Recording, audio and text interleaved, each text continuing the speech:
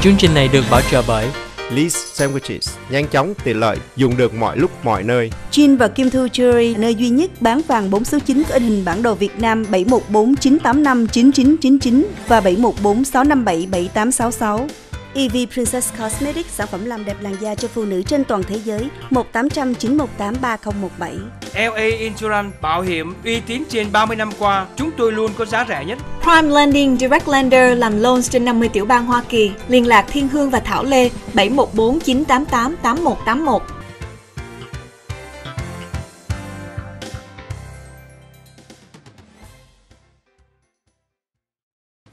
Từ Westminster Như Hiền và đoàn trọng xin ái gửi lời chào xin thân ái gửi lời chào chúng tôi qua cà phê sáng Good morning Như Hiền. Good morning anh Trọng, chào anh Trọng và kính chào quý vị. Hôm nay là ngày 17 tháng 11. Vào sáng sớm này như đi làm đã thấy trời có mưa. Khi quý vị như cũng như quý vị khi quý vị thức dậy, quý vị sẽ thấy một ít mưa vào sáng nay trên toàn miền Nam của California vì do ảnh hưởng bão ở phía bắc của California thưa quý vị. Và như quý vị cũng đã biết là ngày hôm nay trời rất có là nhiều mây. Vào buổi trưa thì trời có ít nắng và nhiệt độ cao nhất ngày hôm nay là 74 độ và thấp nhất là 54 độ. Nhiệt độ hiện tại bên ngoài là 63 độ. Trời cũng không lạnh nhiều, chỉ hơi xe lạnh vào buổi sáng thôi quý vị. Vì do ảnh hưởng của độ mưa nên độ ẩm nhiệt độ cao nhất là 67 độ. Như anh Trọng vào buổi sáng đây anh Trọng đi làm anh Trọng cũng thấy trời mưa nhưng mà mưa rất là rải rác không anh Trọng? Vâng, sáng nay thì trên đường lái xe đi qua con đường Edinger thì yeah. có thể nói cái gạt nước tiếp tục cứ nhỏ hoạt động hoài và những cái cơn mưa lăn tăn có thể nói đây làm cho tôi nhớ lại những cái ngày tháng ở bên Việt Nam vào những trời mùa thu mưa yeah. uh, lác đác rơi một cách nhẹ nhẹ thôi. Yeah. Nhưng mà trưa nay thì còn mưa hay là không? Và trưa nay thì trời hết mưa thưa quý vị. Theo thông tin cho biết là trời sẽ nắng lên chút xíu, nắng không có nhiều nhưng mà sẽ nắng chút xíu và hiện tại như quý vị cũng biết rằng là ở bên ở Đà Lạt cái mùa mưa này nhắc tới như, như quý vị nào đã sống ở Đà Lạt rồi thì cũng nhắc đến cái mùa mưa ở Đà Lạt trời mưa rất là rải rác mưa oh. không có to và mưa rất là nhỏ thế Huyền Nhi cũng là ở tại Đà Lạt phải không dạ em sinh Cô ra lớn ở Đà lên Lạt. sinh ra và tại Đà Lạt dạ. wow. và cho hôm nay cái mùa mưa nhắc những ai nhớ quê hương là về hướng về phía Đà Lạt vì có cái cái mưa này rất là giống cái thời tiết ở Đà Lạt Vậy thưa hả? quý vị Wow. và vào ngày thứ bảy ngày mai trời cũng nắng và có một ít mưa có thể khi quý vị thức dậy vào buổi sáng sẽ thấy mặt đất ướt một chút xíu nhưng mà ngày mai trời sẽ nắng đẹp và nhiệt độ cao nhất là 79 độ rất là ấm thưa quý vị và tuần sau nhiệt độ cũng ấm hơn nhiều lên tới 80 độ vào mùa thu mà tới 80 độ Wow. Cảm ơn Như Hiền đã đưa đến một vài tin tức khí hậu thời tiết và đặc biệt nhắc nhở đến Đà Lạt. Thế thì Đà Lạt tôi thấy mấy cô nữ sinh hay bận những cái áo ấm rất là đẹp, áo khoác rất là đẹp phải không? áo thường thường là nữ sinh mặc áo len màu xanh À. em không biết là em đi lâu rồi không biết có đổi chưa nhưng mà thường thường là nữ sinh mặc áo dài và ở ngoài có một chiếc áo len màu xanh rất là kín đáo và đẹp Wow, wow. kín đáo lại còn đẹp nữa. Wow. Thế bây giờ việc trước tiên chúng ta sáng nay đến cùng bậc cà phê sáng một trong những sự kiện mà có thể nói gần đây nhiều người nói đến nhiều nhất. Kính thưa quý vị, đó là việc ứng cử thượng nghị sĩ ở tiểu bang Alabama. Một trong những ứng cử viên đại diện cho đảng Cộng hòa đã thắng cử cuộc bầu cử sơ bộ, là một trong những người đã đánh bại một trong những đối thủ mà đã được phần lớn ứng cử viên của tất cả các đảng Cộng hòa ủng hộ đó là ông cựu thẩm phán Royce Moore. Đến bây giờ thì ông Roy Moore đang đứng trước một trong những cái sự kiện mà có thể nói làm tầm ảnh hưởng liên quan đến chính phủ của Tổng thống Donald Trump. Nếu tiểu bang Alabama theo như truyền thống là một tiểu bang của Đảng Cộng hòa thống trị ở tất cả các vị dân cử, nếu như Roy Moore hiện nay đang bị dẫn đầu bởi ứng cử viên đối lập của ông Đảng Dân Chủ tới 9 điểm, Sở dĩ chúng tôi nói đến Royce Moore, tuy nhiên kính thưa quý vị, vì Tổng thống Donald Trump, ông cũng không cảm thấy xấu hổ khi nói về tất cả những cái câu chuyện với một người mà hiện nay đại diện cho đảng của ông tranh ghế vào chức vụ thượng nghị sĩ liên bang. Kính thưa quý vị, đó là Royce Moore. Roy Moore là một trong những người mà người ta nói đến rất nhiều trong thời hiện nay là vì những sự kiện như thế nào.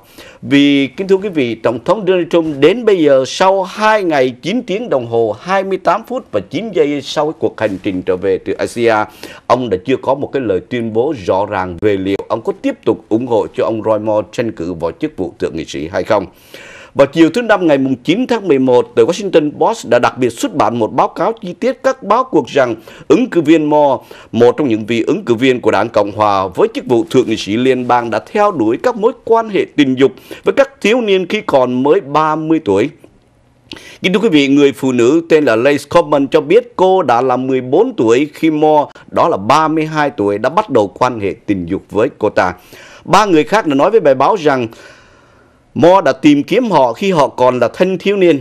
Và đặc biệt vào ngày thứ hai hôm qua, một phụ nữ Alabama khác đã đến và cáo buộc Mo đã tấn công tình dục khi cô mới có 16 tuổi. Hiện hiện nay thì ứng cử viên Mo đã phủ nhận tất cả các và đã thề sẽ tiếp tục chiến đấu trong trong cái cuộc chiến dịch tranh cử của mình. Và chắc quý vị cũng biết rằng cuộc bầu cử đặc biệt này được dự kiến sẽ xảy ra vào ngày 12 tháng 12. Câu hỏi bây giờ là khi cơ quan của đảng Cộng Hòa rút lui khỏi Mo, liệu Trung có làm như vậy được không? Điều này có thể đây là một cái vấn đề rất là nan giải cho Tổng thống Trump. Trong lúc đó thì Nhà Trắng đã trả lời tuần trước rằng bằng cách nói một phần rằng Tổng thống tin rằng nếu các báo cáo buộc này là đúng thì thẩm phán Mo sẽ làm một cái điều đúng là bước sang một bên. Điều đó có nghĩa rằng nếu tất cả những cái cáo buộc này đúng thì ông ông Mo nên bước ra khỏi cái vòng đua này. Ông Trump hứa hẹn sẽ có một cái tuyên bố chi tiết sau khi ông trở lại Mỹ. Và ông đã trở lại vào ngày thứ ba khoảng 9 giờ đêm giờ Eastern Time và kể từ đó ông thường tuyết tên thường xuyên nhưng chưa giải quyết được cái tình huống của Moore. Và sau khi tránh được vấn đề này trong khi phát biểu trên truyền hình thì hôm thứ Tư vị trí của ông vẫn không rõ ràng. Theo như lời thư ký của nhà báo, à, thư, thư ký của Nhà Trắng đó là Sarah Sanders đã nói lại vào hôm thứ Năm, đến bây giờ không đưa ra một cái nhìn sâu sắc nào về suy nghĩ của Tổng thống Donald Trump. Tổng thống tin rằng những lời cáo buộc này rất gây phiền hà và cần được xem xét nghiêm túc.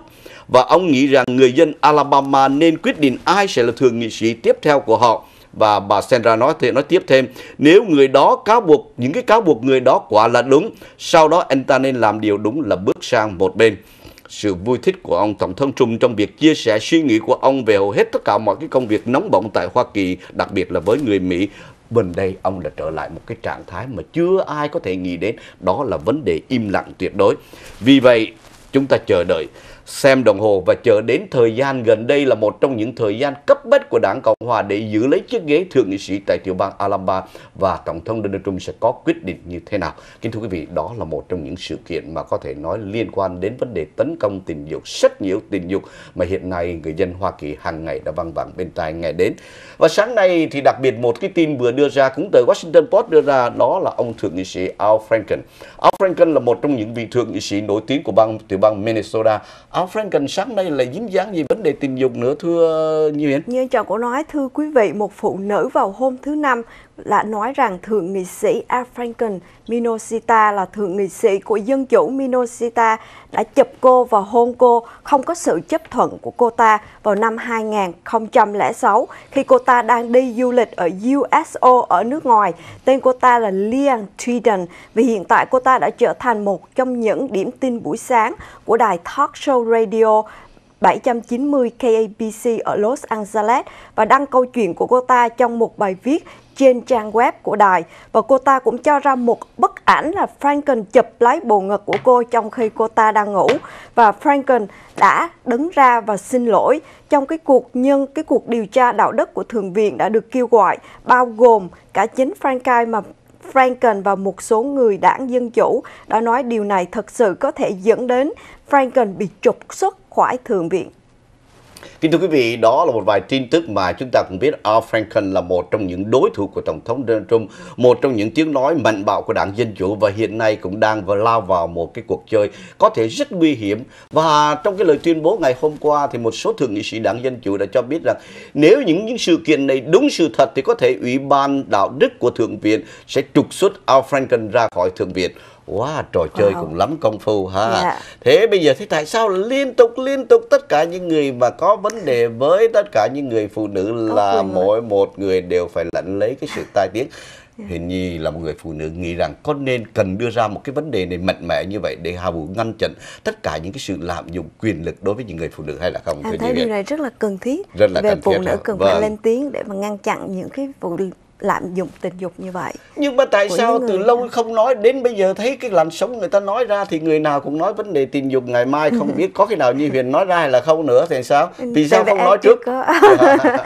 nhiều lúc sợ nên giọng mà bây giờ có người đứng ra nói rồi thì những phụ nữ khác cũng tiếp tục mình coi bảo như một cái làn sóng phải không dạ, làn sóng dấy lên thì coi như người đi trước dạ. vâng kính thưa quý vị wow. đó là một trong những sự kiện mà Hoa Kỳ đang đối đầu quý vị nếu kỳ xem kỹ vào cái bức hình này thì đó là ông Al Franken yeah. Dạ. đang đưa tay đưa hai 2 giờ và hai cái ngực trong lúc cô kia ngủ và cái bức hình này đã có thể nói làm điêu đứng cho Yeah. cái cuộc đời chính trị của Al Franken. Al Franken là một trong những ngược nghị sĩ nổi tiếng của tiểu bang Minnesota, kính thưa quý vị. Có bức hình này thì không từ chối gì được ha anh cái này Trọng thì làm sao từ chối được Dạ, rõ ràng. nhưng mà chỉ còn là nghĩ rằng là tôi giỡn chơi. Dạ. liệu có chấp nhận được cái sự này là gọi là một cái hành động đùa giỡn hay là không? Dạ. đó là một trong những sự kiện mà người ta nói đến sáng nay thưa nhị viện. Dạ. kính thưa quý vị trở lại một trong những sự kiện hôm qua tại Capitol Hill mà chúng tôi đã ghi nhận được đó là vấn đề cải tổ thuế. Với một con số tuyệt đối là 227 vị thượng à, dân biểu của đảng Cộng hòa đã chấp thuận đưa ra một cái dự luật mới về cải tổ thuế má và tất cả con số, tất cả vị dân cử của đảng Dân Chủ đã không có một vị nào bỏ tán đồng về cái đường lối cải tổ. Nhưng với một cái đa số thì đảng Cộng hòa đã thắng. Và hôm qua thì cái dự luật này sẽ đưa lên Quốc hội. Và chúng tôi sẽ tiếp tục với quý vị ở trong phần kế tiếp qua chương trình cải tổ thuế. Chúng tôi trở lại với quý vị trong giây lát.